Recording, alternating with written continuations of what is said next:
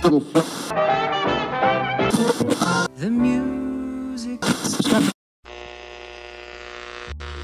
We have a new program with the Utrecht Conservatory and the University of Utrecht where we are combining the approach to artistic research from the performers of the conservatory with musicological research from the university students.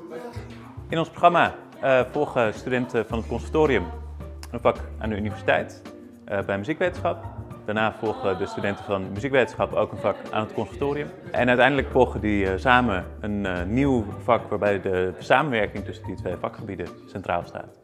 What we are trying to do is look at the advantages and the approaches of both different ways and see how they work to create something new, which is a sort of more than the sum of its parts.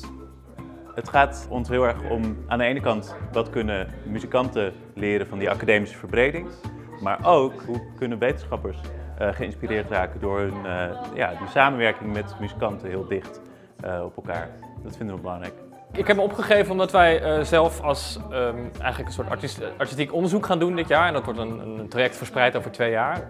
en om daar gewoon meer ervaring en meer uitwisseling in te vinden, heb ik me opgegeven voor dit traject.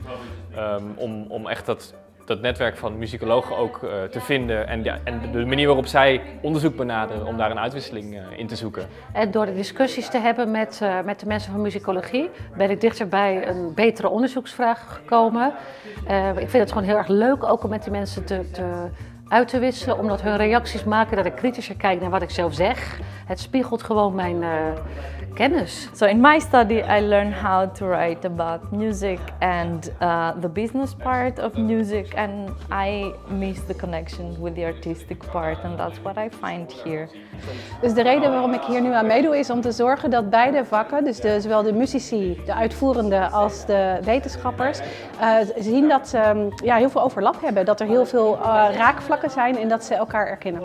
This is a new program with all kinds of new exciting possibilities for creating new ways to research and make music.